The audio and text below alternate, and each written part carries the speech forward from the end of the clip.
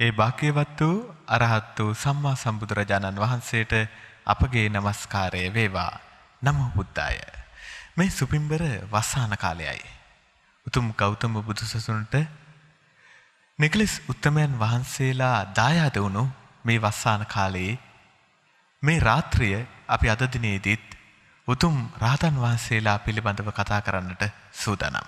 ඒ වෙනුවෙනුයි අද දිනේදීත් මේ සාකච්ඡාව මේ පින්බර වස්සාන කාලයේ ඔබ වෙත දිගහැරෙන සාකච්ඡාව අද දිනේදීත් සූදානම් වන්නේ.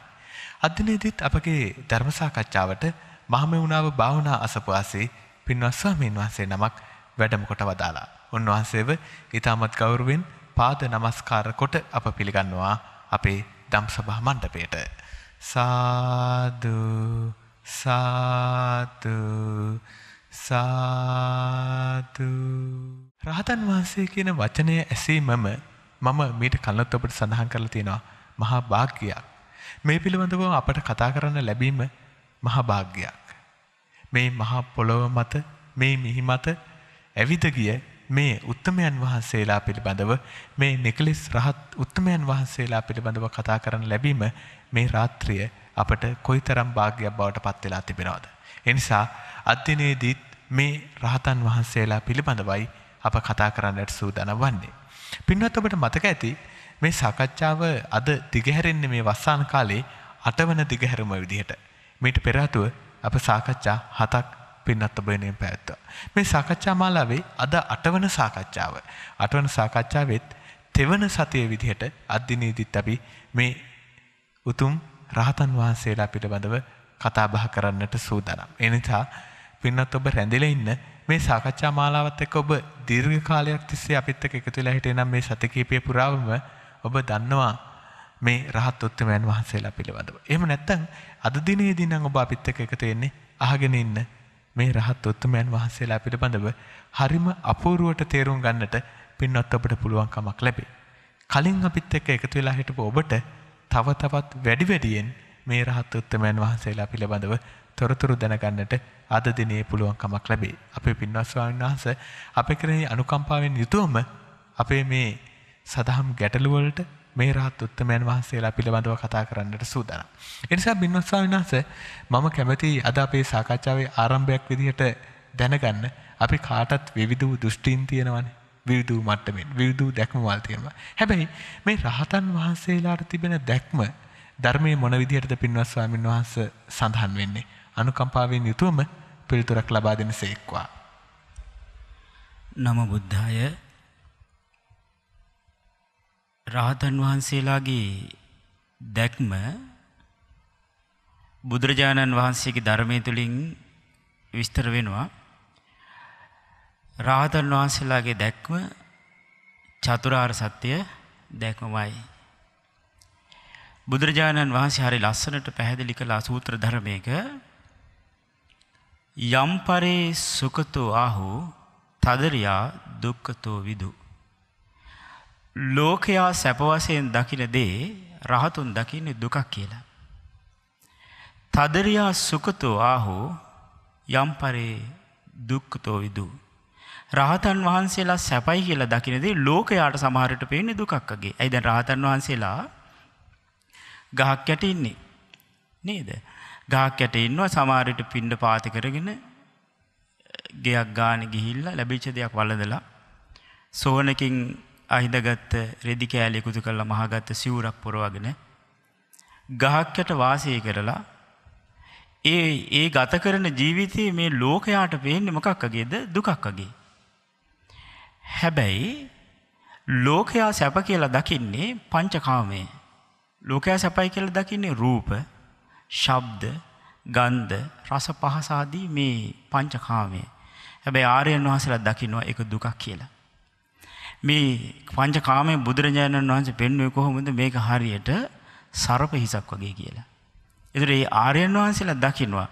ධර්මය සඳහන් වෙන්නේ කොහොමද සරපයක ගොළුව ගාව තියෙන කකුල වහාම ජීවතයෙන්න්න කැමති මනුස්සෙක් අයින් කරගන්න වගේ. ධර්මය හැසිරෙන කෙනත් කාමරමුණෙන් හිත අයින් කරගන්නවා කියන වහාම.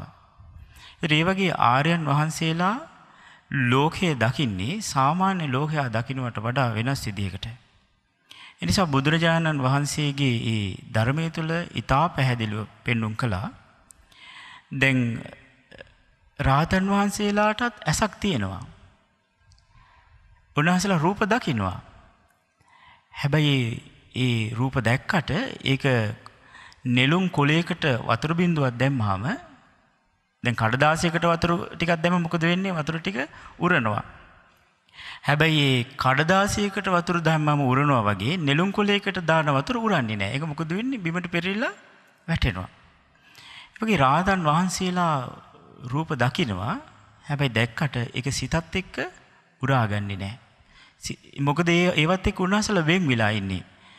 මේ ලෝකයා ලෝකෙ දිහා බලන ක්‍රමයට වඩා උන්වහන්සේලා දකින ක්‍රමය වෙනයි. ඒකයි ඒකට හේතුව. දැන් පඨවි ධාතු, ආපෝ, තේජෝ, වායෝ කියන මේ ධාතුන්ගේ යථාර්ථය ඒ ආකාරයෙන්ම අවබෝධ කළාම පඨවි ධාතුව කෙරෙහි සිත නොඇලී යනවා. ආපෝ ධාතුව කෙරෙහි සිත නොඇලී යනවා. තේජෝ ධාතුව කෙරෙහි වායෝ ධාතුව කෙරෙහි සිත ඇලෙන්නේ නැති බවට පත් වෙනවා. ඒතර මේ නොඇලෙන ස්වභාවයෙන් යුක්ත ඒ ජීවිත තුළ ඔබ අහලා ඇති කොච්චර ඒ නොවැල්මත්ද කියන්නේ අපගේ ශාස්ත්‍රුන් වහන්සේ අරහත්ත්වයට පත් වුණාම ඒ කියන්නේ භාග්‍යතුන් වහන්සේ බුද්ධත්වය ලබනවා එතකොට බුදුරජාණන් කියනවා අපි අරහන් කියලා කියනවා. ඒ අරහත්ත්වය කියලා කියන්නේ රහත් වුණා. බුදුරජාණන් වහන්සේ අරහත්ත්වයට පත් වුණාම මාර දූවරු වෙනවා. මාර දූවරු ඒ දැන් මාරයා මොකද කළේ බිම ඉරියඳ ඇඳ මේ දුකසේ ඉන්නවා. එතකොට මේ වාර දුවරු ඇවිල් අහනවා පියතුමනි ඔබ මොකද මෙච්චර දුකට පත් වෙලා කියලා. ඒ වෙලාවේ කියනවා මේ ලෝකෙ කෙනෙක් මගෙන් මිදුණා. කියනවා අපි බලාගන්නම් අපිට බාර දෙන්න කියනෝක. මේ මාර දූවරු බුදුරජාණන් වහන්සේ ළඟට ඇවිත් නොයෙක් රංගන කළා. නොයෙක් විදිහේ රංගන කරලා ඒ සියල්ල ඉදිරියේ තථාගතයන් වහන්සේ අකම්පිතයි. ඒ ඒ කියන්නේ අරහත්ත්වයට පත්වෙච්ච සිත කම්පාවක් නැහැ වෙනස් වෙන්නේ නැහැ. එතකොට මේ මාර දූවරු කියනවා ඒ කාන්තෙන් මේ උත්තමයා අපෙන් මිදී ගියා. කෙලෙස් සහිත පුජ්‍යලයක ඉදිරියේ මේ රංගන කළා නම් ඒ කෙනා උමුතු වෙයි කියනවා. උමුතු වෙයි කියනවා. එතන මේ එකෙන් අපිට පේනවා මේ රාගය කියන්නේ උමුතු බව ඇති කරන එකක්. එතන මේ රාග දේශ මොහාදිය ප්‍රහාණය කරපු ඒ රහතන් වහන්සේලා ඒ කාන්තින්ම මහත් වූ සැනසීමක් අත්දකිනවා. නිසා ඒ රහතන් වහන්සේලාගේ දැක්ම ඇත්තටම මේ දුක ගැන උන්වහන්සේලා තුළ පරිපූර්ණ අවබෝධයක් තියෙනවා. ඒ දුකේ හට ගැනීම ගැනත් පරිපූර්ණ අවබෝධයක් තියෙනවා. දුක්ඛ නිරෝධය නම් වූ නිර්වාණය උන්වහන්සේලා සාක්ෂාත් කරලා තියෙනවා. ඒක අත්දකින්නවා. ඒකයි අර බද්ධිය කියන රහතන් වහන්සේ ඉස්සර රජ කෙනෙක්. මේ බද්ධිය ස්වාමීන් වහන්සේ පැවිදි වෙලා ගහක් යටකට ගිහිල්ලා වාඩි වෙලා කියනවා අහෝ සැපයි අහෝ සැපයි කියලා. එතකොට මේ ස්වාමීන් වහන්සේලා කල්පනා කළා මේ ස්වාමීන් වහන්සේ මේ ගිහි සැප ගැන කල්පනා කරනවා වෙන්නේ නැති කියලා. බුදුරජාණන් වහන්සේට ගිහින් මේක කිව්වහම භාග්‍යතුන් වහන්සේ බද්ධිය ස්වාමීන් වහන්සේගෙන් අහනවා පින්වත් බද්ධිය ඇත්තද ඔබ මේ අහෝ සැපයි අහෝ සැපයි කිය කිය මේ කාමයන් ගැන හිතේ තින්නවා කියලා කියන්නේ කියලා. එතකොට මේ බද්ධිය ස්වාමීන් වහන්සේ භාග්‍යතුන් වහන්සේට විස්තර කරනවා ස්වාමීනි භාග්‍යතුන් වහන්සේ ඉස්සර මට රාජමාලිගාවේ වටේටත් ආරක්ෂාව තිබුණා. රාජමාලිගාවේ ඇතුළෙත් ආරක්ෂාව දාලා. හැම පැත්තිම මේ සිවුරඟ සේනා නවත්තල ඉන්නවා හැබැයි මට නින්ද යන්නේ. හැබැයි භාග්‍යතුන් වහන්සේ අද මට මුකුත් නෑ. අද මට මැටි පාත්‍රයක් ඇරගෙන වාසය කරන්නේ ගහක් යට.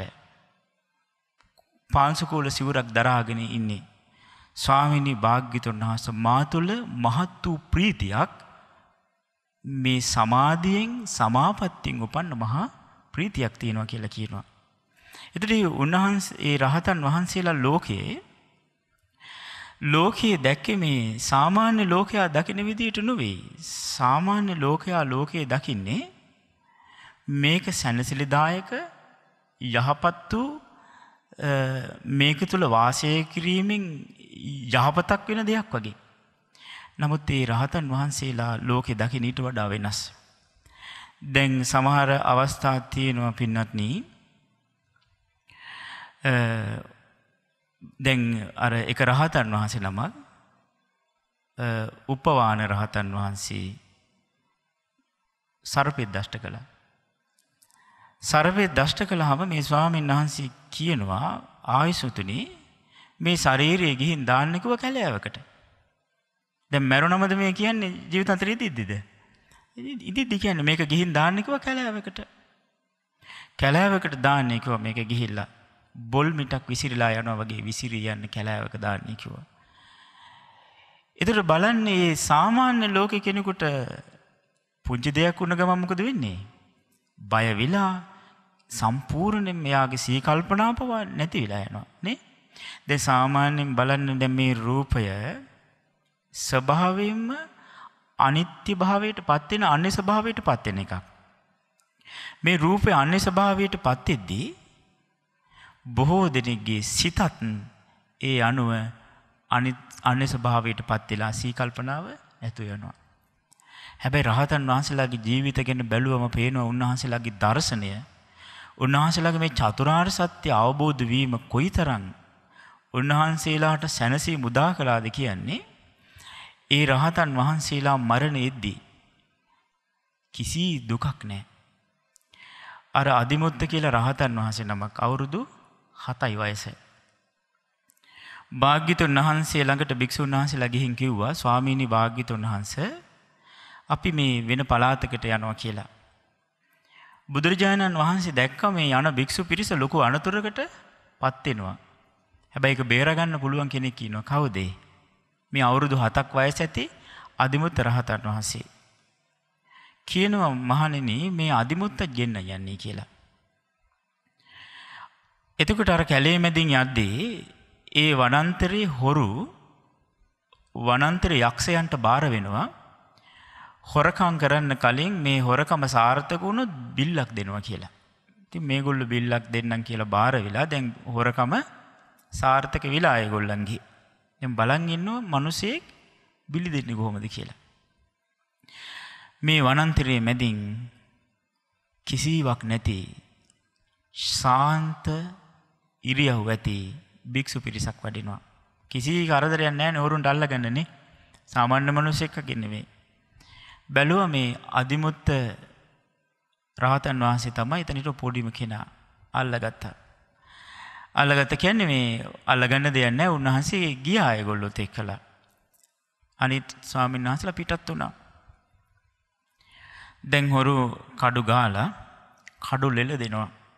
දැන් ඒ බිලි පූජාවති යන්න ලැහැත්ති උන්වහන්සේ කොහොමද. සිනහමුසු මුහුණින් ඉන්නවා.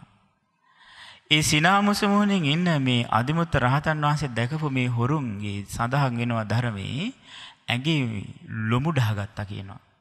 ඇයිද මේක හිතාගන්න අමාරු එකන්නේනේ ද මේ වගේ අවස්ථාවක මනුස්සෙක් ඒකට කොහොම මුන් දේදි කියලා අපිට හිතාගන්න පුළුවන්ද.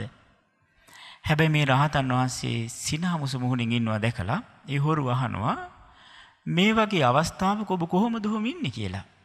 එතකොට කියනවා නෙමේ චේතසිකං දුක්කං අනපෙක්කස්ස ගාමිනි ගම් දෙටුව මානසික දුකක් නෑ කියනවා මේ ලෝකෙ අතහැරපු කෙනෙකුට. මේ ලෝකෙ අතහැරපු කෙනෙකුට මානසික දුකක් නෑ. ඒ දර එක සඳහන් වෙනවා එක් ගාථාවක් එක කියනවා නමේ හෝති අහෝසීති බහුසන්ති භවිස්සන්ති නහෝති මේ සංකාරා විභවි සන්ති තත්තකා පරිදේවනා කියලාහනවා. අහනවා නමේ හෝති අහෝසීති අතීතයට ගියානං යම් ධර්මයක් ඒව මම නොවෙයි. අතීත ජීවිත කොච්චර සසර අපි ගෙව්වාද ඒව මම නං ඒව නිත්ති වෙනුවනේ. ඒව තිබිල මොකදුනේ නැති වෙලා ගියා. භවිස්සන්ති නහෝතිමේ අනාගතයේ යමක් හටගන්නවාද ඒ හටගන්න ධර්මයොත් මම මගේ මගේ ආත්මය කියන දෙයෙන් තොරයි. ඒව මොනවද සංඛාරා විභවිස්සන්ති. සංස්කාරයෝම හට ඇරගෙන නැති වෙනවා. අතීතයත් මොකද වුණේ සංස්කාරයෝම හට ඇරන් නැති වුණා. අනාගතයත් මොකද වෙන්නේ සංස්කාරයෝම හට ඇරන් නැති වෙනවා. සංස්කාර ධර්මයෝම නං හට ඇරන් නැති වෙන්නේ තත්තකා පරිදේවන අඩන්ඩ මොකක්ද තියෙන්නේ එක. තෙරුණදකට කිව්ව දෙතකොට ඒ කියන්නේ මේ රූපය කියලා කියන්නේ. වේදනා සංඥා සංකාර විඤ්ඥාන කියල කරම සකස් වෙච්ච ධර්ම. මෙවගේ ස්වභාවය මොකද අනිත්‍ය විලා යනවා. හැබැයි රහතන් වහන්සේලා මේක අවබෝධ කරලා රූපෙන් නිදහස්සිලා ඉන්නවා. වේදනාව අවබෝධ කරලා වෙදනාවෙන් නිදහස් වෙනවා. සංඥාව අවබෝධ කරලා සංඥාවෙන් නිදහස් වෙනවා. සංස්කාර අවබෝධ කරලා සංස්කාරයෙන් නිදහස් වෙනවා. විඥානය අවබෝධ කරලා විඥාණයෙන් නිදහස් වෙනවා. නිදහස් වුණා කියලා කිව්වේ තණ්හාවෙන් නිදහස් වෙනවා. තණ්හාවෙන් නිදහස් වුණාම ඒ රහතන් වහන්සේලා ලෝකෙට පේනවා. මේ කෙනෙක් ඉන්නවා වගේ. නමුත් උන්වහන්සේලා එයින් නිදහස්සිලා වාසය කරනවා. ඒ නිසා ඒ රහතන් වහන්සේලා ඒ කාන්තින්ම සුවසේ වාසය කරනවා. ඒකයි බුදුරජාණන් වදාළේ සුඛිනෝ වත අරහන්තෝ කියලා. වත කියන්නේ ඒ කාන්තින්ම සුඛිනෝ වත අරහන්තෝ රහතුන් කියන්නේ ඒ කාන්තින්ම ලෝකේ සුවසේ ඉන්න පිරිසක්. ඇයි දැන් අර එක තැනක තියෙනවා පින්නත්නි භාග්‍යතුන් වහන්සේ ගහක් යට සැතපීනවා. රාත්‍රී කාලෙ සීතල කාලෙක ගසේ ගහක කොළරොඩු අතුරලා දාලා එක සිවුර දාලා සැතපිලා. උදේ පාන්දර සීත කාලේ නැගිටල ඉන්නවා. රාජකුමාරයෙක් බුදුරජාණන් වහන්සේ වැඩ ඉන්න තැනින් යද්දි දැක්කා රාත්‍රී කාලෙ ගත කරලා තියන්නේ ගහක් යට. මේ රාජකුමාරය හරි පුදුමයි ළඟට ගිහින් අහනවා ස්වාමීනී භාග්‍යතුන් වහන්ස ඔබවහන්ස මේ ගහයටද ඊරෑ හිටියේ කිනොව් කියලා. ඉතින් මේ ඔබවහන්සට සුවසේ නින්ද ගියාද කියලහනවා. රාජකුමාරය ලෝකයෙහි සුවසේ නිදන අය අතර මම සුවසේ නිදන කෙනෙක් කියලා. ස්වාමිනයක කොහොමද වෙන්න කියලාහන මේ සීතල රාත්‍රිය. එතකට කියනවා රාජකුමාරය ඔබ මොකද හිතන්නේ. රාජකුමාරයකින්නවා උඩුවියම් බැඳපු පාවට දාලා රතු පලස් සතුරපු යහනාවක. රාජ කන්‍යාවෝ එයාට උපස්ථාන කරනවා. එක්කෙනෙක් ඔළුවත ගානවා තව එක්කෙනෙක් පාපිරිමදිනවා මේ විදිහට රාජ කන්‍යාව උපස්ථාන කරනවා. රාජකුමාරයා සුවසේ නිදයිද ස්වාමිනය සුවසේ නිදයි කියනවා. බුදුරන්ස වදාලා සුවසේ නිදනුව නොවෙයි ඔහු රාගින් ගිනිගනී කියනවා. ඔහු රාගින් ගිනිගනී කියනවා. කුමාරය ඒ රාගේ මට ප්‍රහීන වුණා. ඒ නිසා මම සුවසේ නිදාගන්නවා. දේශයෙන් ගිනිගන්න ලෝකෙහි දේශය ප්‍රහාණය කරපු රහතුන් සුවසේවාසය කරනවා. මෝහයෙන් ගිනිගත්ත ලෝකයේ මෝහය ප්‍රහාණයකරු ආරය උතුමන් සුවසේවාසය කරනවා. ඒ ඒ ඒ දැක්ම බුදුරන්සේ අහනවා රහතුන් ඇර කවුද දන්නේ කියලා. ඒ විමුක්තිය ගැන රහතන් වහන්සේලාගේ ඒ දර්ශනය කවුද දන්න යනවා. මේක ලෝකයෙහි දකින්න දුස්කර දෙයක් කියනවා. හැබැයි මෝහයට පත්තිච්ච ජනයා අඳුරකින් වැහුණ වගේ මේ ඇත්ත දැකගන්නෑ කියනවා. තමන් ළඟම තියෙන ඇත්ත පෙනෙන්නෑ කියනවා. හැබැයි සත්පුරුෂයාට මේ ධර්මය ආලෝකයක් ලැබුණ වගේ. ඇයි අන්ද කෙනෙකුට ආලෝක ලැබුණට වැඩත් තියෙනවද. අසත්පුරුෂ කෙනාට ඒ වගේ. ඇස් නැත්තං ධර්මය ලැබුණාට ඇස් නැත්තං ආලෝකය ලැබුණාට පාරතුට අපේන්නේ. ඇස්තියන මනුස්සයාට ධර්මය කියන්නේ ආලෝකයක් පහළ වනා වගේ. ඇස්තියන නමකද වෙන්නේ සියල්ල දකිනවා. ඒ සියල්ල දකින රහතුන් මේ ලෝකය කෙරෙහි නොවැලී ඒ විරාගි වූ ධර්මය ඉස්පර්ස කලා.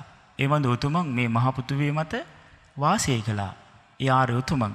දේ නිසා ඒ රහතන් වහන්සේලාගේ දැක්ම ඇත්තට මේ චතුරාර් සත්‍ය දර්ශනයමයි බුදුරජාණන් වහන්සේ පෙන්වා වදාළ මොකක්ද චතුර්නම් භික්කවේ දම්මානං අනුනුබෝධා අපපටිවේදා ඒවමිදන් දීග මද්ධානං සන්ධාවිතං සංසරිතං මමංචේව තුම්මාකංච. මහනනි ඔබත් මමත් දීර කාලයක් සසර සැරිසැරුවේ මේ ධර්ම හතර අවබෝධ නොවීමෙන්. මොකද්දේ දුක නම් වූ ආර්ය සත්‍ය සමුදය නිරෝධය මාර්ගය මේ දර්ශනය අද අපිට ඇති වුණා. අද අපිට මේ දැක්ම ඇති වුණා.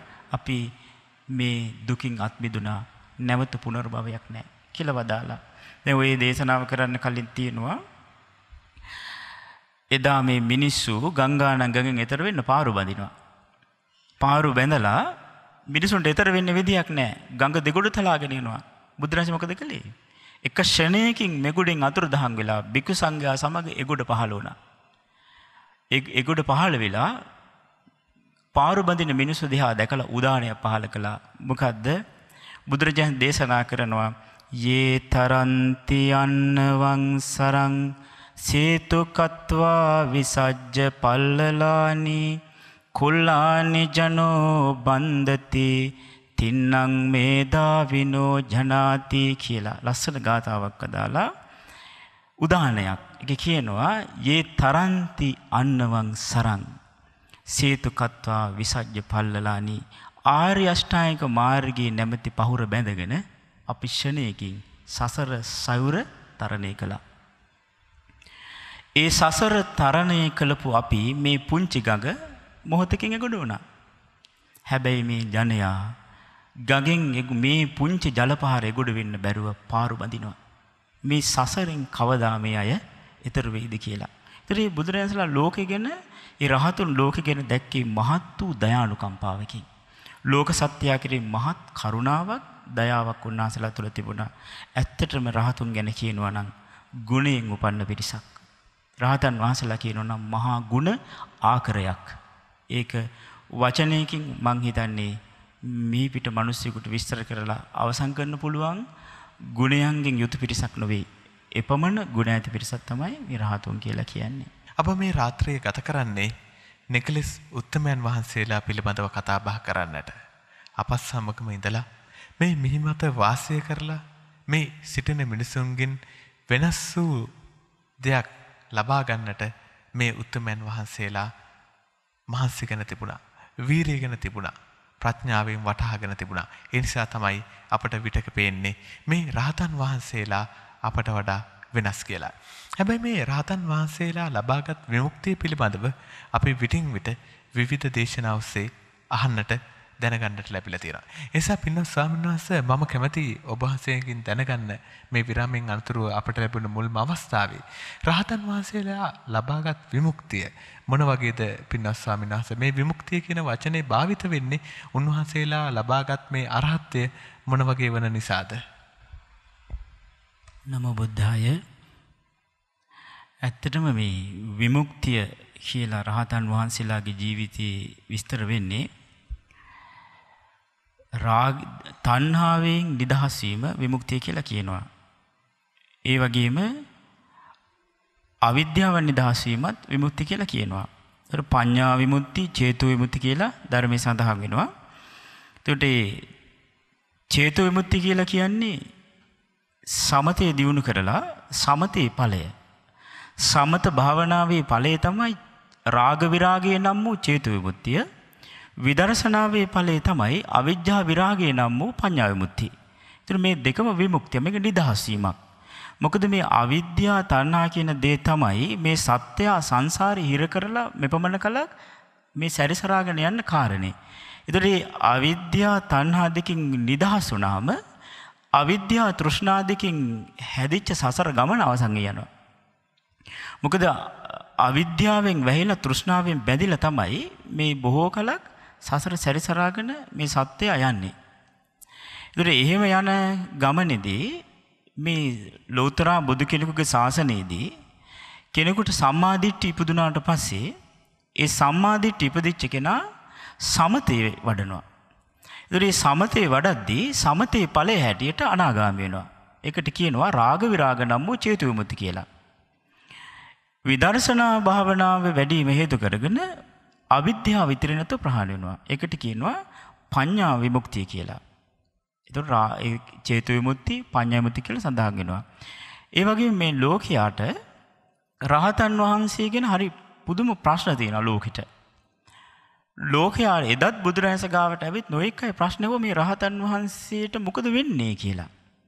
දැන් ලෝකයාට හිතා ගන්න බෑ මේ රහතන් වහන්සේට මරණින් මත්තේ කුමන්ද සිදු වෙන්නේ මොන විමුක්තියක්ද ලබන්නේ කියලා.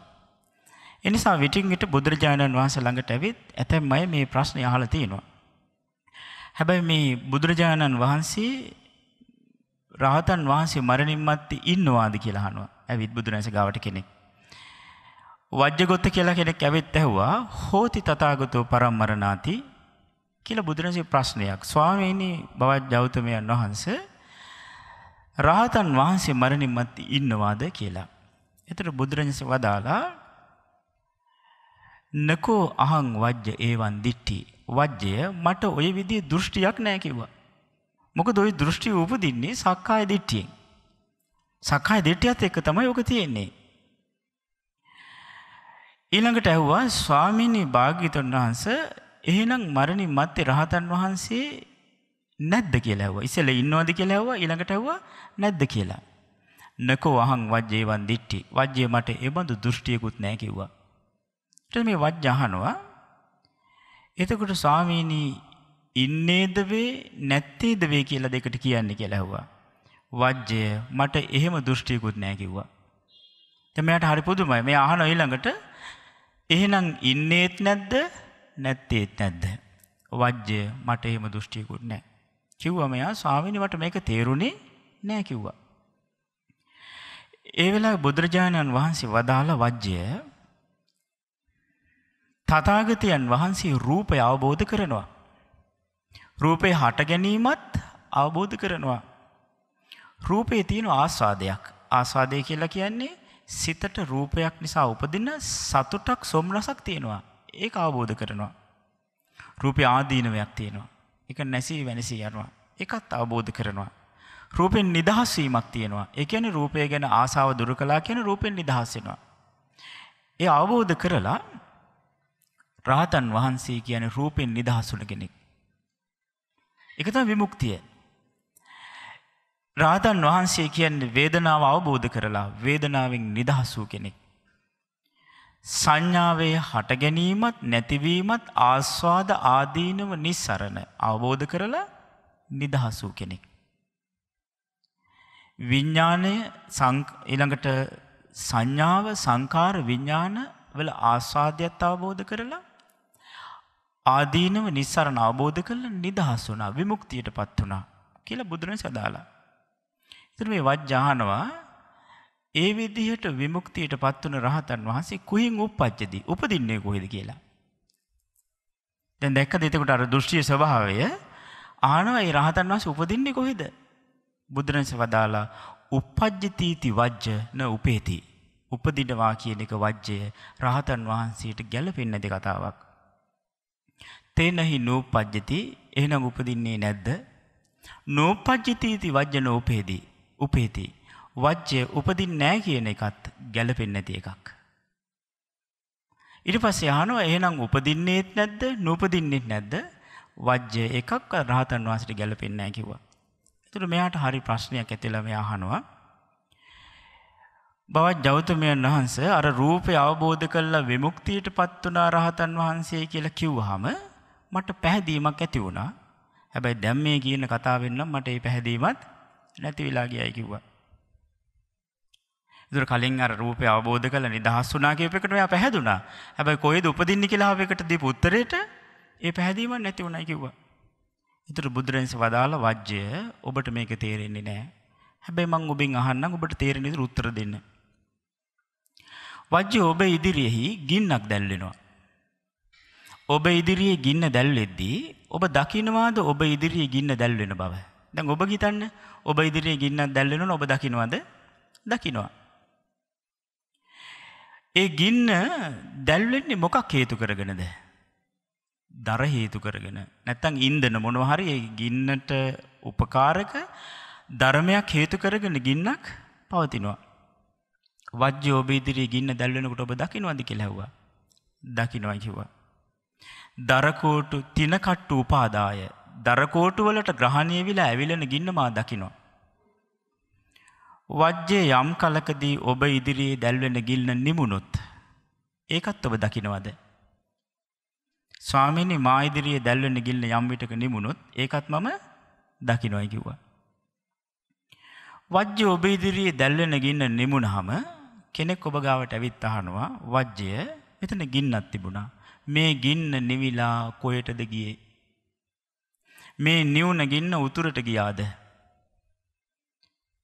මේ ගින්න දකුණට ගියාද. මේ ගින්න කොහාටද ගිය කියලා අහනවනම් වජ්‍ය ඔබ දෙන උත්තරයමකක්ද. ස්වාමීනී ඒ උත්තර ඒ ප්‍රශ්නය වැරදි න උපේති සංකං එහෙම එකක් නෑ. අන්න බලන්න බුදුරංශිත් අදාලි කෝමද රහතන් වහන්සේගෙන්න උපපජ්ජිතීත න උපේති කියලා. මෙයත් කියනවා න උපේති ඒ ඒ ප්‍රශ්නය අදාල නෑ. තෙරුණද කිව්වදේ මෙයා කියනවා ගින්නට යම් ආහාරයක් තිබුණා. මොකක්ද ආහාරය දරකෝටු. අනාහාරෝ නිබ්බෙහියන් ගච්චති. ආහාර නැතිවීමෙන් ගින්න නිවුනා කියලා විතරයි කියන්න තියෙන්නේ. ගියේ කොයි දැහුවොත් ඒක වැරදි කතාවක්. බුදුරන්ස වදාලා වජ්ජය ඔය විදිහමයි.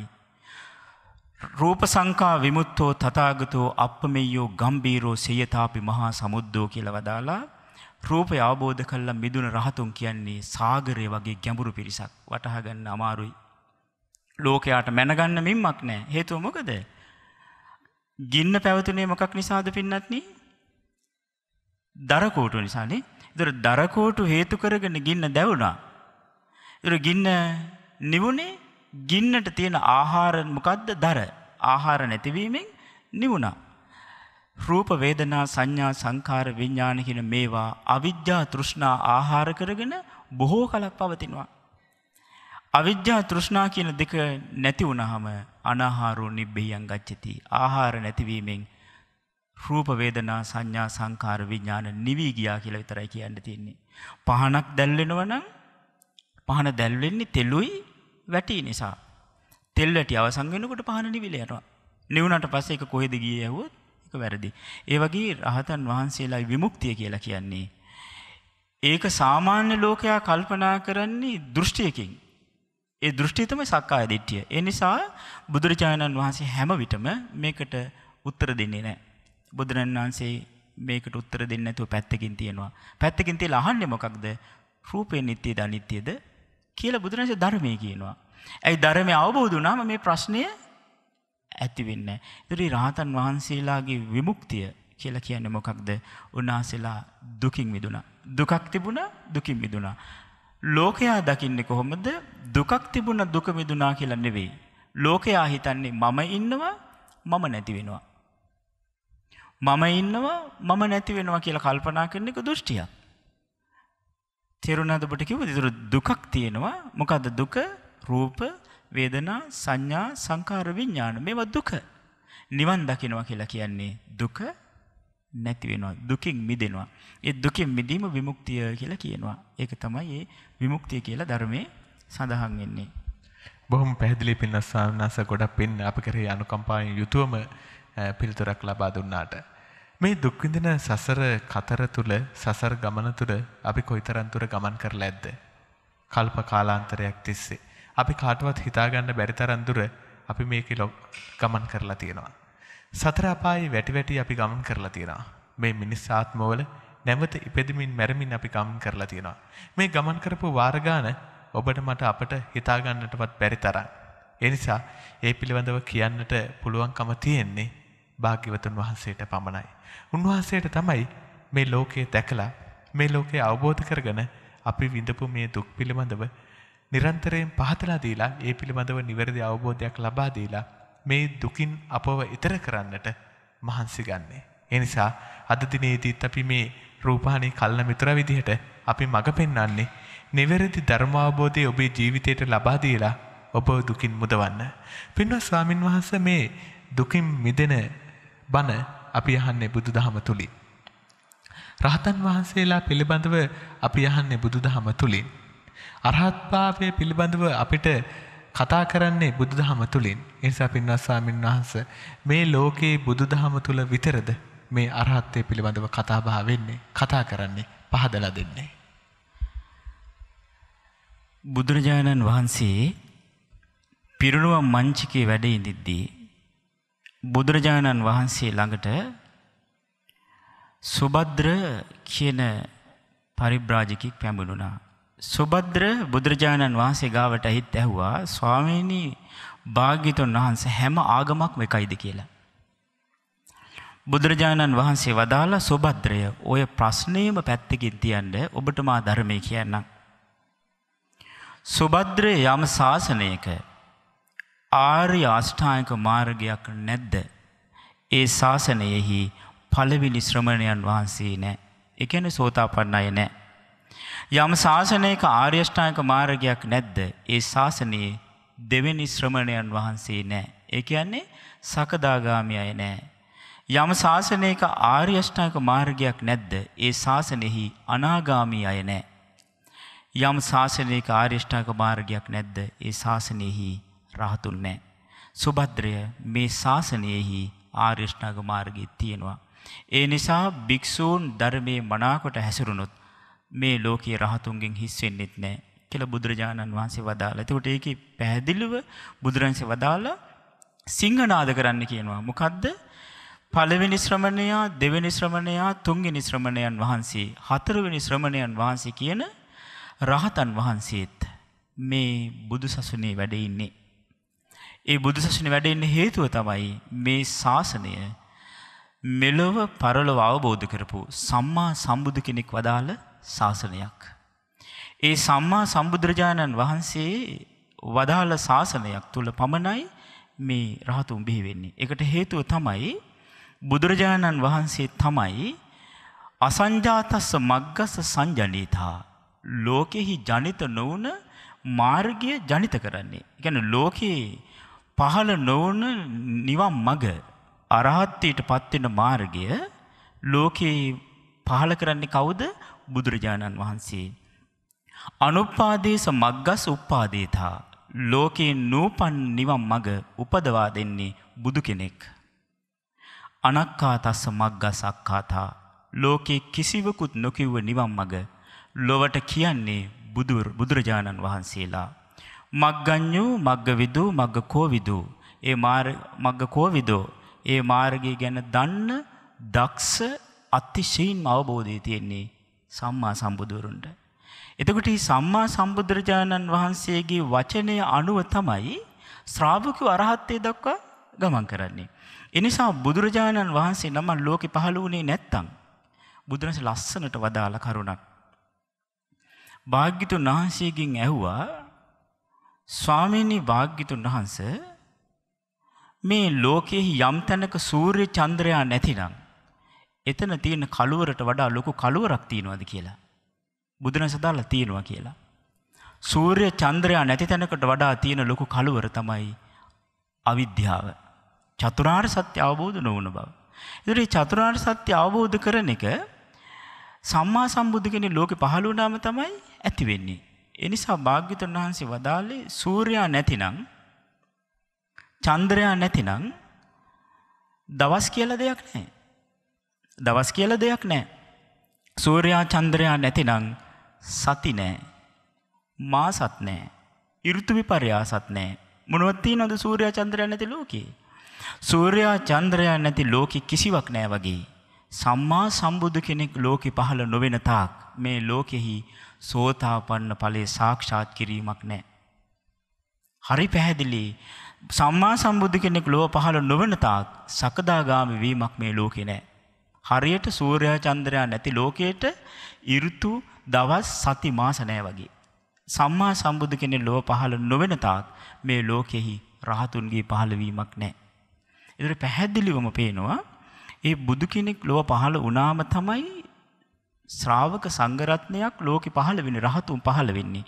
එනිසා බුද්ධ ශාසනයකමයි රහතන් වහන්සේලා වැඩ ඉන්නේ. සම්බුදු සසුනකමයි රහතුන් පහළ වෙන්නේ. ඉතින් ඒ කරුණ අපි ඒ විදිහට දරාගන්නට ඕන ඒක ඒකාන්තෙම සත්‍යයක්. ඒක ධර්ම ධර්මය අපි ඉගෙන ගත්තොත් අපි ඒ ධර්මයේ නුවණින් කල්පනා කළොත් අපිට තේරුම් ගන්න ලැබෙනවා. මේ බුදුරජාණන් වහන්සේ වදාළ ධර්මය රාග සහිත සිතකින් කියප එකක් නොවේ. ඒ ධර්මය ඉපදිලා තියෙන්නේ විරාගී හදකි. එනිසා ඒ ධර්මී වචනවල පවා ඒ විරාගී ගුණේ තියෙනවා. ඒකයි බුද්ධ වච නැහෙනකුට ලෝකයා සංසය දෙන්නේ. ඒ ධර්මය ඉපදිලා තියෙන්නේ දේශේ නැති තැනකි. ගැන දේශයක මූලයක්වත් නැති අනුසයක්වත් නැති මුළුමනින්ම දේශය ප්‍රහාණි විච්ච හදවතකින් උපන්න ධර්මයක්. ඒ නිසා තමයි ඒ ධර්මය අහනය සංසිඳෙන්නේ. ඒ ධර්මය මෝහය නැති තැනකින් උපන්න එකක්. ඒ ධර්මය නිසා තමයි ලෝකයා මෝහයෙන් සංසිඳෙන්නේ. ඒතර රාගදේශ මෝහ සංසිඳන ධර්මයක් ලෝකෙට කියන්නේ රාගදේශ මෝහ සහිත කෙනෙක් නොවේයි. රාගදේශ මෝහ සංසිඳන දහම ලොවට කියන්නේ රාගදේශ මෝහ ප්‍රහාණය කළ බුදුරජාණන් වහන්සේ. ශ්‍රාවකයෝ ධර්මය කියනවා ශ්‍රාවකයෝ ධර්මය කියන්නේ ඒ බුද්ධ වචන උපුටා දක්වමි. එතුර ශ්‍රාවකයන් විච්චේ තතාගතයන් වහන්සගේ ශ්‍රාවකයෝ මොකද කරන්නේ ශාස්තෘන් වහන්සේ වදාළ ධර්මය ධර්ම ගෞරවයෙන් ඉස්මතු කොට ලොවට කියනවා. තතාගතයන් වහන්සේගේ ධර්මය ලෝ බබලවනවා ලෝකයේ මතුකොට පෙන්න්නනවා. එක ශ්‍රාවකයෝ ධර්ම ඉස්මතු කොල්ල පෙන්න්නනවා. ඒ නිසා බුදුරජාණන් වහන්සේගේ ශාසනීමයි රහතුන් බිහි වෙන්නේ. මගතන්නේ රහතන් වහන්සේලා පිළිබඳව කතාබහ කරන මේ බුදුදහම තුළ මේ රහතන් වහන්සේලා එහෙම නැත්නම් මේ උත්තමයන් වහන්සේලා නිකලෙස් මුනිවරුන් පිළිබඳව කතාබහ කිරීමම ඔබට මේ පිළිබඳව වටහා ගන්නට හොඳ මඟ පෙන්වීමක් වෙනවා කියලා අපි විශ්වාස කරනවා. ඒ නිසා තමයි මේ පිරිසුදු බුද්ධ වචනය ඒ ආකාරයෙන්ම ඔබ වෙත ලබා දෙන්නට රූපහානි කල්නමිතුර විදියට ශ්‍රද්ධා රූපාණී උත්සාහ ගන්නේ. ඒ නිසා තමයි මේ පුණ්‍යවන්ත වූ වස්සාන කාලය තුලදී ඔබේ සිත තව තවත් පිනින් පුරවල්ලන්නට මේ කතාබහ මේ උතුම් සදහම් සාකච්ඡාව අප මේ රාත්‍රියේදී පින්නත් ඔබ වෙත අරගෙන එන්නේ. පින්නත් ස්වාමීන් වහන්සේ ඔබ වහන්සේ සඳහන් කළා මේ උතුම් අරහත්ත්වයේ තියෙන්නේ බුද්ධ ශාසනය තුල පමණයි. මේ උතුම් අරහත්ත්වය ලබා ගන්නට නම් භික්ෂුන් වහන්සේ කෙනෙක් භික්ෂුන් වහන්සේ නමක් මොන වගේ ප්‍රතිපදාවන් සම්පූර්ණ කරගත යුතුද පින්වත් ස්වාමීන් වහන්සේ? නම බුද්ධාය බුදුරජාණන් වහන්සේ පෙන්වා වදාලා දැන් ලෝකෙහි ඕනම දෙයකට අනුපිළිවෙල වැඩපිළිවෙලක් තියෙනවා. අපි බිල්ඩින් එකක් ගොඩනගෙනවා නම් ඒකේ අතිවාරමකින් පටන් අරගෙන ෆවුන්ඩේෂන් එකෙන් පටන් අරන් තමයි උඩට එන්නේ. ඒ වගේ සෑම දෙයකම අනුපිළිවෙල පිළිවෙලක් තියෙනවා. නිසා බුදුරජාණන් වහන්සේගේ ශාසනෙත් පිළිවෙලක් තියෙනවා. දැන් මට මතක් වෙන එක අවස්ථාවක බුදුරජාණන් වහන්සේ ළඟට කුණ්ඩලී කුණ්ඩලී කියලා කෙනෙක් ඇවිත් අහනවා ස්වාමීනි භාග්‍යතුන් වහන්සේ ඔබ වහන්සේ කුමක් ආනිසංස කරගෙනද ඉන්නේ කියලා. ඒතර බුදුරජාණන් වදාලා විද්‍යා විමුක්ති ඵලය ආනිසංස කරගෙනයි කුණ්ඩලී තථාගතයන් වහන්සේ ඉන්නේ කියලා. ඒ විද්‍යා විමුක්ති ඵලය කිව්වේ අරහත්ත්වය. ඒ පිණිසයි ලොවට බුදුරජාණන්සේ ධර්මය කියන්නේ. එතකොට මේ අහනවා ස්වාමීනි මේ විද්‍යා විමුක්ති ඵලය සාක්ෂාත් කරන්න මොකක් හරි පුරුදු කරන්න ඕනද? කුණ්ඩලිය සත්ත බොජ්ජංග පුරුදු කළොත් තමයි විද්‍යා විමුක්ති සාක්ෂාත් වෙන්නේ කියලා. ඒ කියන්නේ සති, ධම්මවිජය, විරිය, පීති, ඒ වගේම පස්සද්ධි, සමාධි, උපේක්ඛා කියන මේ බොජ්ජංග ධර්ම පුරුදු කළොත් තමයි කුණ්ඩලිය විද්‍යා විමුක්ති ඵලය සාසාත් කරන්නේ. එතකොට ඒක තමයි ඒකට තියෙන හේතුව. ඊට පස්සේ ආනවා ස්වාමීනි මේ බොජ්ජංග ධර්ම දියුණු වෙන්න මොන හරි පුරුදු ගන්න ඕනද? කුණ්ඩලිය බොජ්ජංග ධර්ම දියුණු වෙන්න නම් සතර සතිපට්ඨානය භාවිත බහුල කරන්න ඕන. ඒ කියන්නේ කායානුපස්සනාව භාවිත බහුල කරන්න ඕන. වේදනානුපස්සනා, චිත්තානුපස්සනා, ධම්මානුපස්සනා භාවිත බහුල කිරීමෙන් තමයි බොජ්ජංග ධර්මය පරිපූර්ණ වෙන්නේ. දැන් බලන්න ඒ කචාන මහරහතන් වහන්සේ විස්තර කරපු තැනක තියෙනවා මේ කායගතා සතිය භාවිත බහුල කළොත් ඊතා හොඳින් පුරුදු කළොත් අසුබ දේ කෙරෙහි සුබ යනුවෙන් මුලාවිච්ච බවක් ඇද්ද මේක ප්‍රහාණයලා යනවා. කායානුපස්සනාව තුළ සිහියෙන් වාසය කළොත් අසුබෙහි අසුබ සංඥාව ඇති වෙනවා. අසුබය ගැන තියෙන සුබයයි විපල්්‍යාසය නැතිවිලා යනවා. වේදනානුපස්සනාව හොඳින් පුරුදු කළොත් දුක ගැන සැප කියලා තියෙන විපල්්‍යාසය නැතිවිලා යනවා කියනවා. ඒ ලෝකෙට තියෙන දුක ගැන සැපයි කියලා අදහසක්. ඒක නැති වෙනවා කිව්වා වේදනානුපස්සනාව පුරුදු කළොත් චිත්තානුපස්සනාව භාවිත බහුල කළොත් අනිත්‍ය දේ ගැන නිට්ටයයි කියලා තියෙන මුලාව නැති වෙලා අනිත්‍ය දේ අනිත්‍යයි කියන සංඥාව ඇති වෙනවා. ධම්මානුපස්සනාව භාවිත බහුල කළොත් අයිතිකාරයෙක් නැති අනාත්ම වූ ධර්මය ගැන ආත්මය යන හැඟීමක් ඇද්ද ඒක නැති වෙලා අනාත්මෙහි අනාත්ම සංඥාව ඇති වෙනවා. ඒතර මෙන්න මේ සතිපට්ඨානය භාවිත බහුල කිරීමෙන් ඒක අවබෝධ කරගන්න මොකක්ද මේක සමුදේ ධම්මානුපස්සීවා හටගන්න ධර්මයක් වය ධම්මානුපස්සීවා වෙනසී යන ධර්මතාවයක්.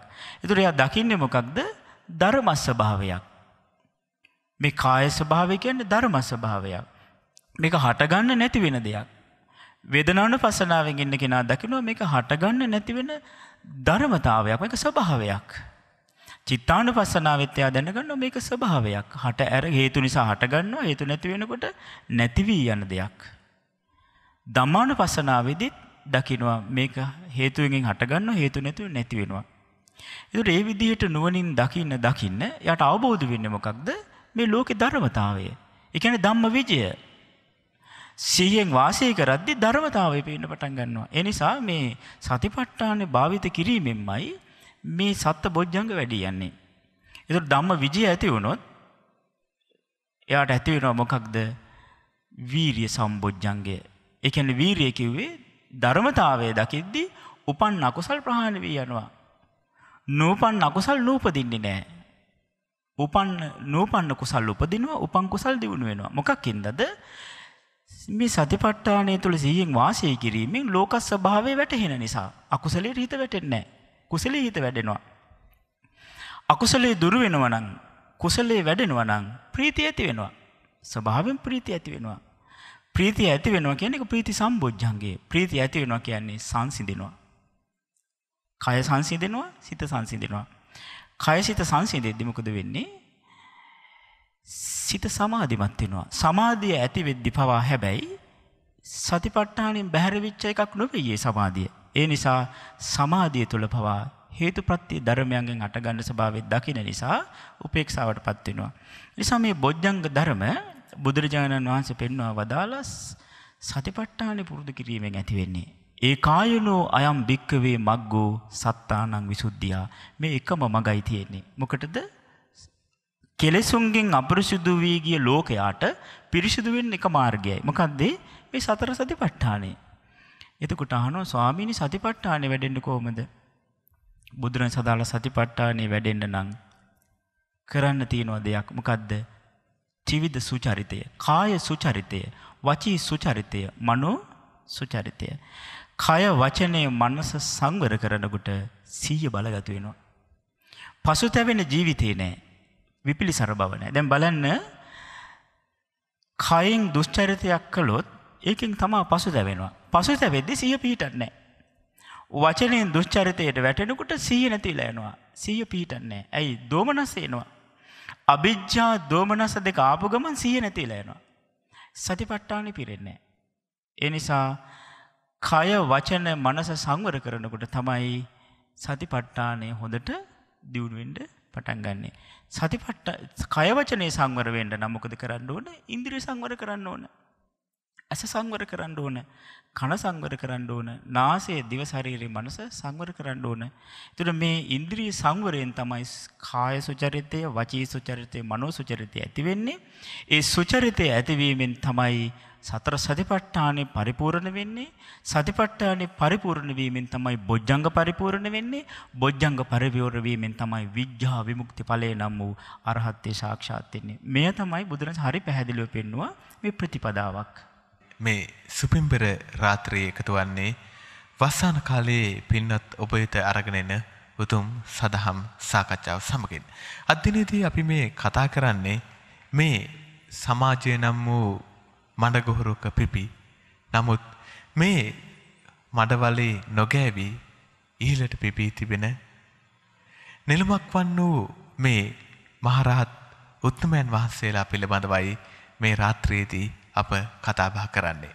මේ කතාබහ තුළ පින්නත් ඔබට දැනගට ලැබෙන කරුණු කාරණා කොයිතරම් අපූරුවට අපේ ජීවිතවලට අවබෝධ කර දෙනවාද. එනිසා මේ උතුම් නිකලෙස් මහරහත් උත්තමයන් වහන්සේලා පිළිබඳව දැනහැඳින ගැනීමම කතා කිරීමම අපට කුසල් රැස්වෙන පිනක් විදියටයි හඳුනා ගන්නට පුළුවන් කමක් ලැබෙන්නේ මේ අපේ සාකච්ඡාව තුළදී. පිනස් ස්වාමින් වහන්සේ ඔබ වහන්සේ අද සාකච්ඡාව ආරම්භයේදීම සඳහන් කළා ධර්මයේ තුල මේ රහතන් වහන්සේලාට දැක්මක් තියෙනවා. හැබැයි අපි විවිධ දෘෂ්ටීන් ඔස්සේ මේ ලෝකය දකින්නට උත්සාහ කරනවා. ඒ නිසා රහතන් වහන්සේලා පිළිබඳවත් විවිධ දෘෂ්ටීන් අපි තුළ තියෙන්නට පුළුවන්. එහෙම නැත්නම් මේ සමාජය තුළ තියෙන්නට පුළුවන්. විවිධාකාර පුද්ගලයන් මත මේ විවිධ අදහස් තියෙන්නට පුළුවන්. ඒ නිසා රහතන් වහන්සේ කියන නම රහතන් වහන්සේගේ තියෙන ගුණ නියමාකාරයෙන් හඳුනා නොගෙන සමහර වෙලාවට තීරණ ගන්නට පවා පෙළඹෙන්නට පුළුවන්කම තියෙනවා. ඒ නිසා පින්වත් ස්වාමීන් වහන්සේ මම කැමතියි දැනගන්න ඔබ වහන්සේ අර කලින් කිව්වා වගේ මිනිසුන්ගේ හිතවල තියෙන විවිධ දෘෂ්ටීන් ඔස්සේ බැලුවට පස්සේ මේ 이르දි පාත්‍යහාරය පිළිබඳව විවිධ අවස්ථාවලදී කතා බහ වෙනවා. ඒ නිසා මම කැමතියි ඔබ වහන්සේගෙන් දැනගන්නට රහතන් වහන්සේලාට 이르දි පාත්‍යහාරය පෑමේ අවස්ථාව සියලුම රහතන් වහන්සේලාට උදා වෙලා තියෙනවද කියන එක පිළිබඳව. අනුකම්පාවෙන් යුතුවම පිළිතුරක් අපේක්ෂා කරනවා ස්වාමීන් වහන්සේ. නම බුද්ධාය රාතන් වහන්ස සියලු රහතන් වහන්සේලා තුළ ඉර්දි ප්‍රාතිහාරය තියෙනවාද කියන ප්‍රශ්නී තමයි ඇහුවේ. සියලු රහතන් වහන්සේලා තුළ ඉර්දි ප්‍රාතිහාරය පෑම හැකියාව තිබිල නෑ. රහතන් වහන්සේලා පඤ්ඥා විමුක්ත රහතන් වහන්සේලාත් ඔබතෝභාග විමුත්ත රහතන් වහන්සේලා කියලා රහතන් වහන්සේලා දෙයාකාරයකින් අපි හඳුනගත යුතුවේ. හොඳ සිදුවීමත් තියෙනවා සුසීම කියලා පරිබ්‍රාජකයෙක් ඒ කාලෙදී අනිත් ආගමික අය අයට සිව් පසේ නොලබී ගියා. සිව් පසේ ලැබෙන් නැති වුණාම එගොල්ලු උපායක් කල්පනා කළා මොකක්ද එකනෙක් ගිහිල්ල බුද්ධ ශාසනය පැවිදි විලා ඒ ධර්මය ඉගෙනගෙන හොරෙන් ඇවිත් අපිට කියන්න. එතුට අපිත් ඒවා කියලා ලාභ සත්කාර ලබන්නන් කියලා ධර්මය සොරකං කරන අදහසින් පැවිදි වුණා. කවුද සුසීම. සුසීම කියනේ පරිබ්‍රාජිකයෙක් ආනන්ද ස්වාමීන් වහසගා වැවෙච් වන්දනා කල්ල කිව්වා මට මහන වෙන්ඩ ඕන කියලා. ආනන්සවාස මොකද කළේ බුදුරන්සිගාවට ගෙන්න්නන් ගිය. බුදුරන්සිකිවම ආනන්දී මහන කරන්නේ කියලා. මහන කරලා දැන් ටික කලා කිරනකොට ස්වාමීන් වහන්සේලා බුදුරන්සගාවට ඇවිත් අරහත්වය ප්‍රකාශ කරනවා භාග්‍යතුන් වහන්ස ඒ මම ජාතිය ශය වුණා කියලා මේ අරහත්තේ රහතන් වහන්සල ප්‍රකාශ කරනවා. දැම් මේ සුසීමට මේ අහගෙන ඉඩ ලැබුණා සුසීම බලන් ඉඳල ගියා පස්සෙන් ගේ ලැව්වා ඔබවහන්සේලා රහත් වනා කියලා කිව්ව නේද ඔවු කිව්වා. එතකොට ඔබවහන්සේලාට ඉරිදි ප්‍රාතිහාරය තියනෝදි කියලා හැව්වා නෑ කිව්වා.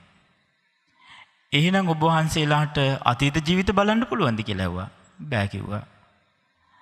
එතකොට ඔබවහන්සේලාට බිච්චුත වෙන උපදින සතුම් බලන්න පුළුවන්දි කියලා ඇව්වා බෑකිව්වා. එහෙනම් කොහොමද රහත් වනේ. සුසීම ඔබ දැනගත්තත් නැතත් අපි අරහත්තයට පත් පඤ්ඥාව මුත්තේ කිව්වා. පඤ්ඥා විමුත්ත කියන්න මොකක්ද කිව්වා. පඤ්ඥා විමුත්ත කියන්න මොකක්ද කියලා ඔබ දැනගත්තත් නැත සුසීම අපි පඤ්ඥා විමුත්තයි කියලා කිව්වා.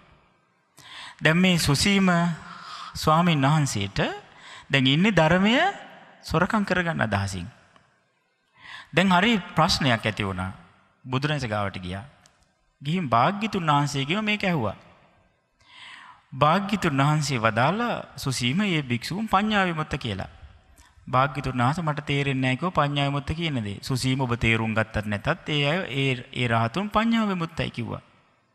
කියලා බුදුරජාණන් වහන්සේ එතනදි වදාලා පටි සෞපාත් ධර්මය. අවිද්‍යාපච්චා සංකාරා සංකාරපච්චා විඤ්ඥානං විඤ්ඥානපච්චා නාමරූපං නාමරූපච්චා සලහයතනං සලායතන පච්චා පස්සෝ ආදී වසයෙන් ජරාමරණ දක්වා විස්තර කළා. ඉරස නිරෝධය විස්තර කළා. අවිද්‍යා විතරනැතු නැතිවෙනකොට මොකද වෙන්නේ? සංස්කාර නිරුද්ධ වෙනවා. මේ විදිට නිස්තර කල්ලා කියනවා. දේශනා කළා සුසීම ඉස්සෙල්ලාම ඇති වෙන්නේ ධර්මතාවය ගැන ඥානය පස්සේ ඇති වෙනවා නිබ්භානය ඥානක් ඒ ධර්මතාවෙන් නැති වුණා කියලා. භවය සකස් වෙන විදිහ දැක්කා. භවය සකස්සෙන් නැතුව ගිහාම ඒකත් දැක්කා. හැබැයි ආසවක්කේ ඥානෙ තියෙනවා. ඒ රහතන් වහන්සේලාට කියනවා පඤ්ඤා විමුක්ති කියලා. ඒ රහතන් වහන්සේලාට ඉර්ධි ප්‍රාතිහාර නැහැ. හැබැයි අර උබතෝ භාග රහතන් වහන්සේලාට ඉර්ධි ප්‍රාතිහාර පෑම හැකියාව තියෙනවා. ඊළඟ එක තමයි බුදුරජාණන් වහන්සේ මේ 이르දි ප්‍රාතිහාරය වර්ණනා කළේ නැහැ.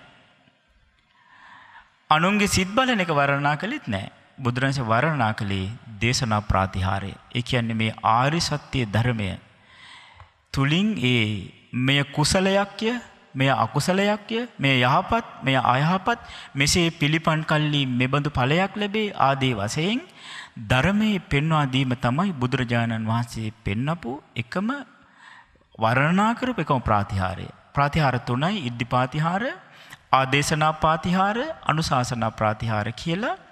ඒකෙදි ඉර්ධි පාතිහාරය බුදුරජාණන් වර්ණනා කළේ නැහැ. බුදුරජාණන් වහන්සේ ශ්‍රාවකයන් වහන්සේලාට විනය නීතිය පවා පැනෙව්වයි සම්බන්ධින්. ඒ නිසා අපි තේරුම් ගන්නට ඕන සමහර විට සමාජයේ මොන හරි දෙයක් නැති වුණාම මේ රහ මෙතන තිබුණ එක නැති වුණාද කියන අදහසිනුත් මේ රහතන් වහන්සේගේ නම යොදනවා. මේවා ඊටාම වැරදි. මේවා බරපතල දේවල්. රහතන් වහන්සේලා කියන්නේ ලෝකයේහි කල්ප ගණනකින්වත් අහන්නවත් නොලැබෙන නම් රහත් කියලා කියන එක පවා. එනිසා මේ රහතන් වහන්සේලා කියන්නේ මහා ගුණ ඇති පිරිසක්.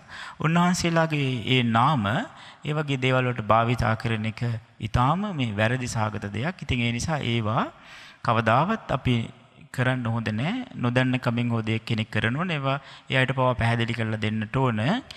මේ මොනවා හරි නැති වුණා. මේ දැන් මේක මෙතන තිබුණා. දැන් මේකට මොකද වුනේ කියලා අහනවා රහතන් වහන්සේගේ නම කියලා.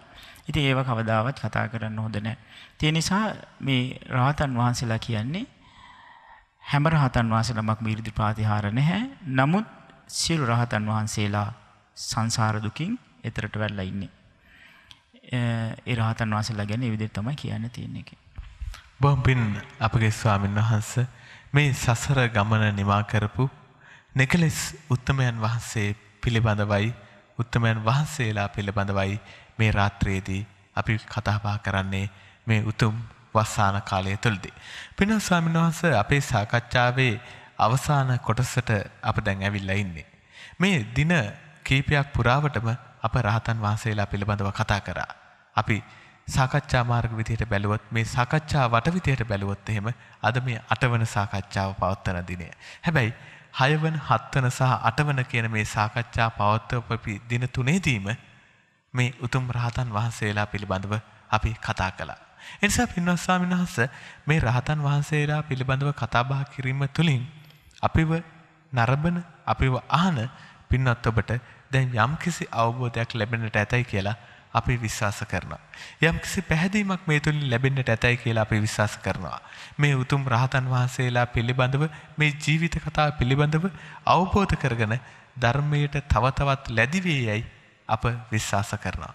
එනිසා අපගේ පින්වත් ස්වාමීන් වහන්සේ මම කැමතියි ඔබ වහන්සේගෙන් අහන්න අපි මේ උතුම් රහතන් වහන්සේලාට කියන්නේ අනුත්තර වූ පින්කෙත කියලා. මේ පින්කෙත වූ රහතන් වහන්සේලාට අපි පුදන දේ මොන විදිහටද අපිට විපාක ලැබෙන්නේ? අපි දන් පින් පිදුවත් මේ උතුම් රහතන් වහන්සේලාට පෙරලා මොන විදිහට අපට විපාක ලැබේවිද? අනුකම්පාවෙන් යුතුවම පිළිතුරක් ඔබ වහන්සේගෙන් බලාපොරොත්තු වෙනවා. නමෝ බුද්ධාය රාතන් වහන්සේලා ගැන ධර්මයේ සඳහන් වෙනවා හරියට මේ කෙතක් වගේ කියලා. කෙත කියලා කියන්නේ කුඹුරක්. ඒ කෙත ගැන වදාලේ කොහොමද?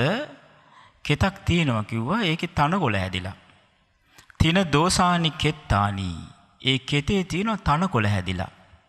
ඒ වගේ රාග දෝසා අයම් පජා මේ ලෝක ප්‍රජාවගේ තියෙන දෝෂය තමයි රාගය ඇති වෙනවා. කුඹරට තියෙන දෝෂය මොකද්ද? තනකොළ.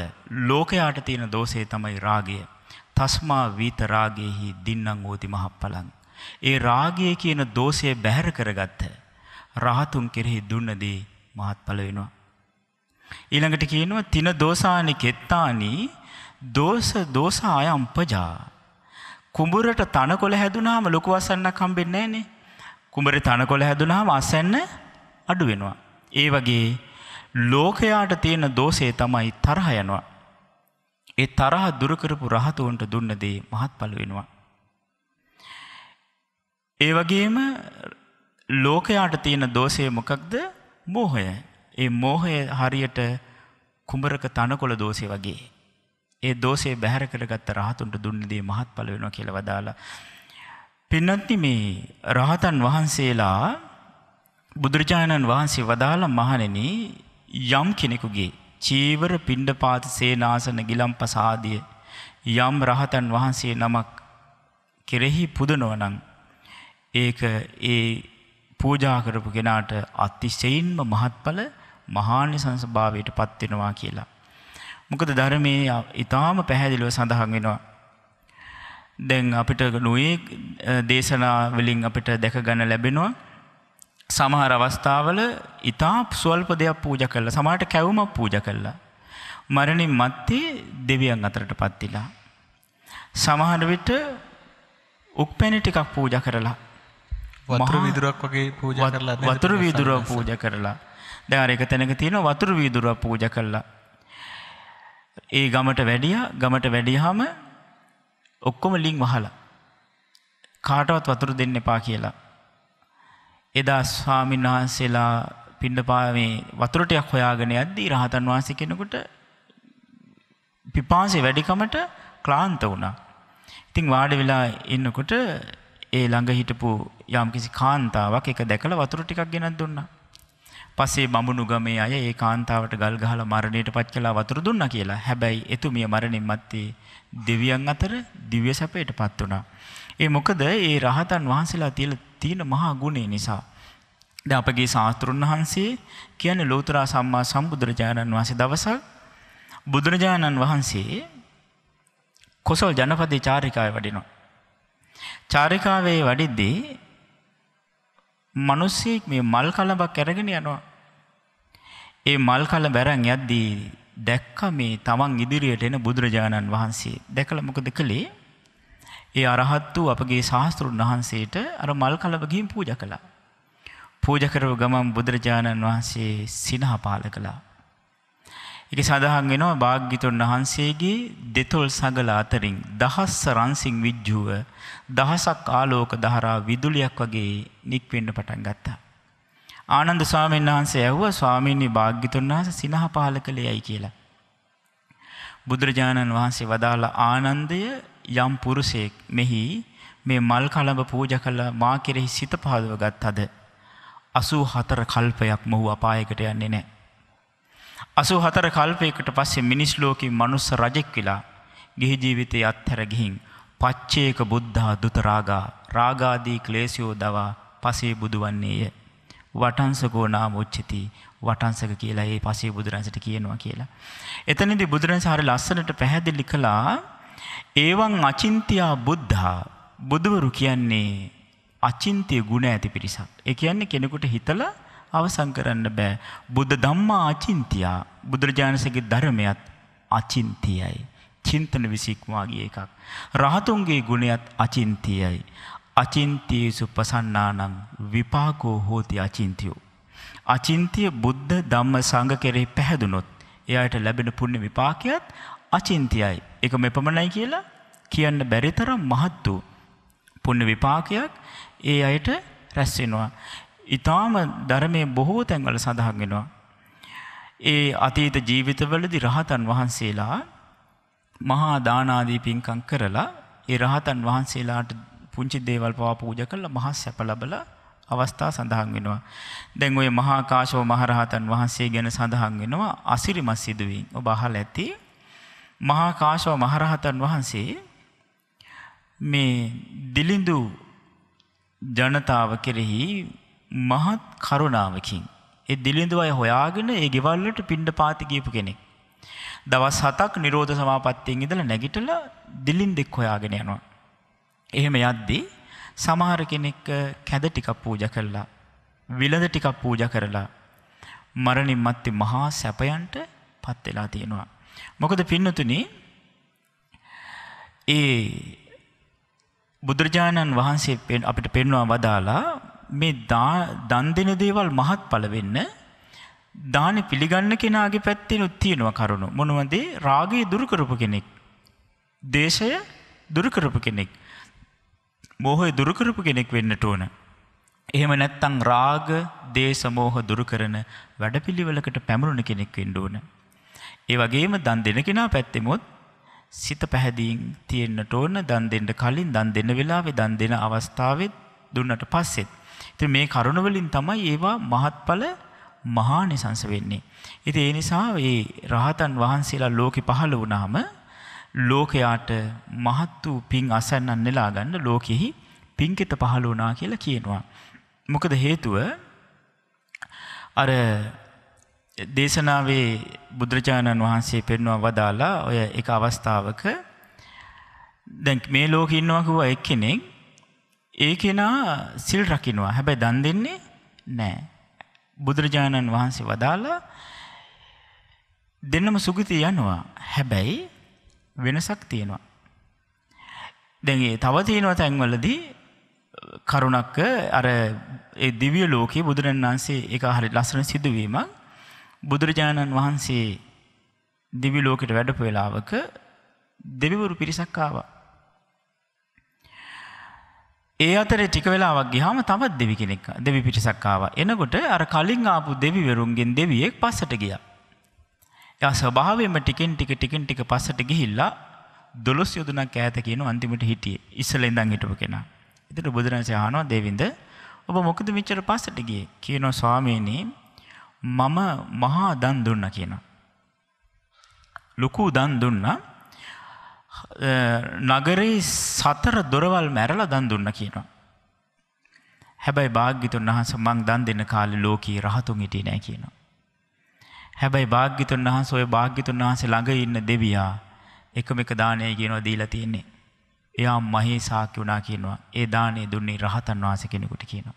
එතන බලන්නේ රහතන් වහන්සේලා ලෝකේ පහළ වීම මේ ලෝකයාට අනුත්තර පින්කිත පහළ වුණා කියලා කියනවා. ඒ කියන්නේ ඒ රහතන් වහන්සේලාගේ තියෙන ගුණය. ඒ ගුණය නිසා තමයි ඒ දානේ අග්‍ර වෙන්නේ. දැන් එක අවස්ථාවක ඇහුවා භාග්‍යතුන් වහන්සේගෙන් ස්වාමීනි භාග්‍යතුන් වහන්සේ කාටද දන් දෙන්න ඕන කියලා. බුදුරජාණන් වදාළේ කොහොමද පැහැදුන කෙනෙකුට දෙන්නේ කියලා. ස්වාමීනි කාට දුන්නමද මහත්ඵල කියලා ඇහුවා. බුදුරජාණන් වදාලා දානයක් මහත්ඵල වෙන්නේ ඒ පිළිගන්න කෙනාගේ ගුණය මත කියලා. දුසීල කෙනෙක් දෙන දානේ වඩා සීලවන්තයෙකුට දෙන දානේ මහත්ඵලයි. රාග සහිත කෙනෙකුට දෙන දානයකට වඩා විරාගී කෙනෙකුට දෙන දාන මහත්ඵලයි.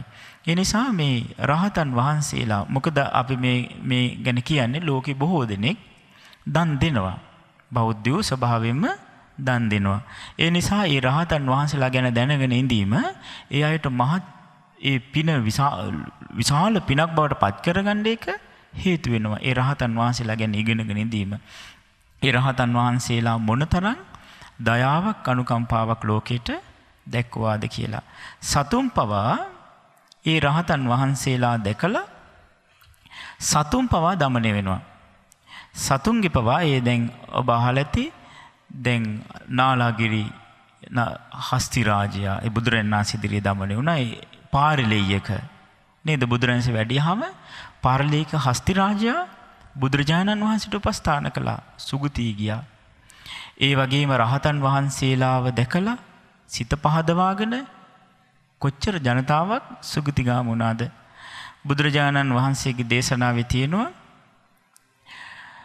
යම් කෙනෙක් මේ සංඝයා දැකලා සිත පැහැදුනොත් ඒ සිත පැහැදීම මාත්‍රයෙන් යා සුගතියට යනවා කියලා.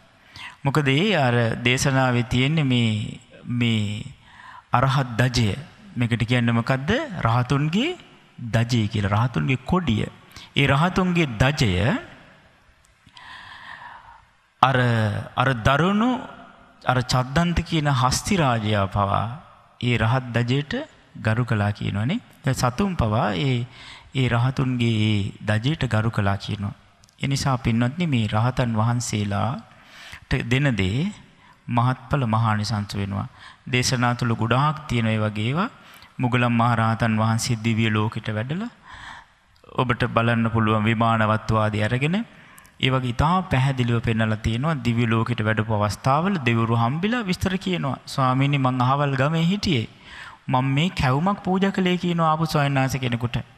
අන්තිමට ඒ කැවුම පූජා කරලා ඒ ගෙදර හිටපු ඒ තමන්ගේ නැන්දා තමන්ට පහර දීලා මැරිලා දෙවියන් අතරට පත්විච්ච ඒවා විස්තර කරලා තියෙනවා මේ වගේ ගොඩාක් විස්තර ධර්මයේ සඳහන් වෙනවා රහතන් වහන්සේලා කෙරෙහි දුන්න දේ අතිශයින්ම මහත්ඵල මහානිසංස වෙනවා. සමහරලාට පින්නස්සානස මේ දානය දීම තුළම ගොඩක් වෙලාවට දැන් ඒ අහන අපිට දැනගන්න තිබෙන තොරතුරුත් එක්ක ගොඩක් වෙලාට දැන් අ, සමහර අවස්ථාවලද ගෙදර වැඩ කරන්න හිටපු කෙනා. එහෙම නැත්නම් දැන් ඔබ වහන්සේ ඔය සඳහන් කරා වගේ අ, ලේලිය තමයි දන් දීලා තියෙන්නේ. සමහරලාට මේ නිවෙසේ මුදල් හදල් තියෙන නිවෙසේ අ, ඕනෑතරම් සැප සම්පත් තියෙන නිවස්වල අයිතිකරුවන් එහෙම නැත්නම් ඒ දවස්වල හිටපු ධනවතුන් නෙමෙයි ගොඩක් වෙලාට ස්වාමීන් වහන්සේ අ, දිව්‍ය ලෝකෙ ගිහිල්ලා තියෙන මහරහතන් වහන්සේලාට දන්පැන් පූජා කරලා. හැබැයි මේ හිත හදාගෙන දන්පැන් පූජා කරපු අ, නිවසේ හිටපු මෙහෙකාරියන් එහෙම නැත්නම් තව කෙනෙකුගේ අ, යැපීමෙන් ආහාර ලබාගත් කෙනෙක් මහරහතන් වහන්සේලාට මේ දානය දීලා ගොඩක් වෙලාවට දිව්‍ය ලෝකෙ ගිහිල්ලා තියෙනවා පින්න ස්වාමීන් වහන්සේ. ඒ කාලයේ තිබුණ ඒ සිදුවීමත් හරි අසිරිමත් නේද ස්වාමීන් වහන්සේ?